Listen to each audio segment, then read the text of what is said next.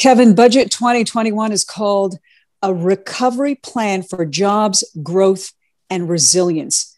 How would you characterize it? Look, well, I guess we could stick with that characterization. It's uh, it's massive. I mean, that's how I think everybody will probably end up characterizing this uh, budget. Is historic. The test, of course, will be down the road to see if any of these uh, measures uh, do what they're supposed to. Uh, if they do, and I think there's, frankly, if we want to be optimistic about it, reason to think that they will, then we can feel good about this budget despite the magnitude. I mean, the the there could be some, there will be some sticker shock, no doubt, but uh, I, see a lot of these investments uh, in coming into the, the, the right kind of places. Those are things we need to do to to really boost the economy. The uh, budget suggests that deficits are lower than forecast. Uh, they're on the decline, as a matter of fact. There's a declining debt to GDP ratio some uh, optimistic numbers for Canada's economic recovery. What's your take? Indeed. Well, I think I, I, keep thinking back to something I read at the very start of the crisis. Uh, there were some economists that said, look, uh, it looks catastrophic, and there's certainly reason to think it could be.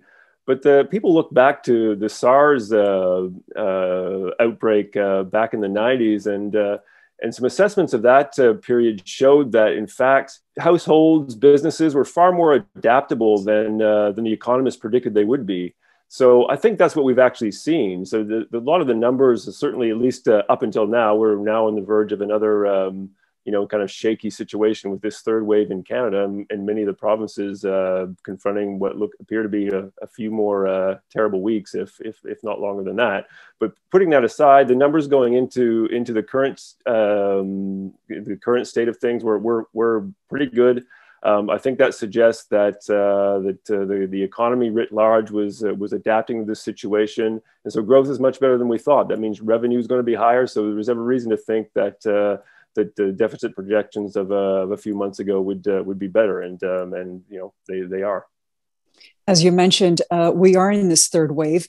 Did business get out of it what it needed? Did small and medium sized business get out of this budget what it needed? Well, my experience with um, with at least the, the small and medium sized business lobby and most business lobbies is they're they're always looking for a little bit more. Um, my assessment on the surface would be that they got probably enough. Whether they got what they needed, I don't know. I guess they, I guess they'll they'll, they'll tell us in the uh, in the days ahead.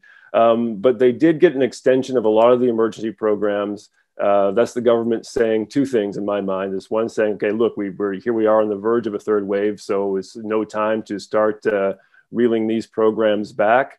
Um, and then I saw some some evidence that the government's prepared to sort of lean into the recovery phase. Now we talked about how the the the recovery is is stronger than we thought. There's uh, lots of money in the bank. Uh, households have have done okay, and they've not had a lot of opportunity to spend the money. So there's there's a lot of cash sort of sitting out there uh, waiting to be deployed. So a government might have decided to hang back and and and, and let that money do the sort of the short term recovery bit.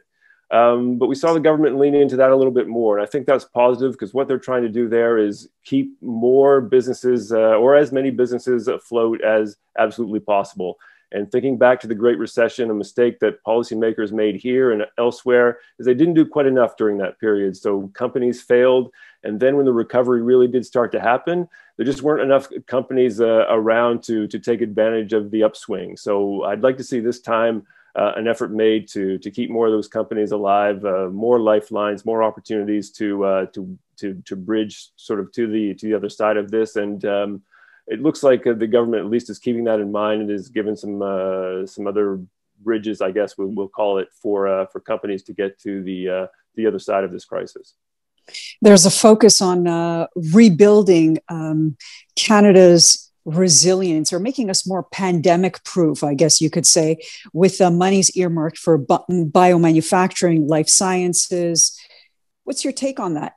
Yeah, I think it's necessary, Larysa. I mean, it, would be nice to think that the, the private sector would take care of that kind of thing. And I think we assumed a couple of decades ago when we sort of uh, took a step back and uh, embraced a, a, smaller government, I'll say, or a less uh, activist sort of approach to, to economic policy, that uh, you know by way of lower taxes, free trade, that sort of thing, that uh, the private sector would decide um, you know how best to deploy uh, money, investment, that sort of thing, and would leave us uh, well positioned going forward. But you know, as we've seen through the last year or so, I mean, that didn't happen. I mean, I think among the the most embarrassing moments, uh, I think for for us as a country was the the recognition, the realization that uh, that you know we fell behind the vaccine race because we couldn't produce our own. The companies that uh, that have uh, you know been ahead on this are those who had uh, manufacturing capacity.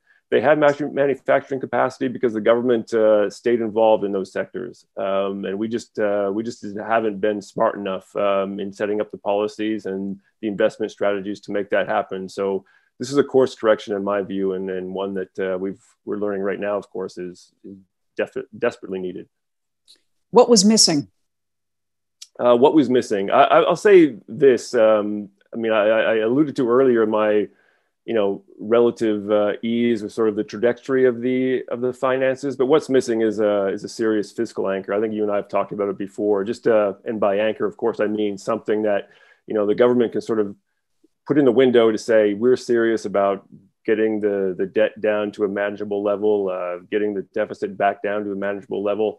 The government says is doing that. The government has a trajectory that uh, that says the deficit, for example, will be back to you know one percent uh, of GDP within uh, five years or so. I mean that's not terrible, but um, but that's basically uh, we're, we're, we're forced to take the government's word on that. And uh, I think the issue is, or the issue that uh, the Trudeau government will confront is, I don't know that it has a lot of faith, uh, or there's a lot of faith in the Trudeau government to deliver on just simple promises. I think there's probably there are probably some investors out there that would like to see something a little more concrete. Um, and Chrystia Freeland didn't offer that up today. She simply said, "Trust me." So I guess we'll see if people trust her.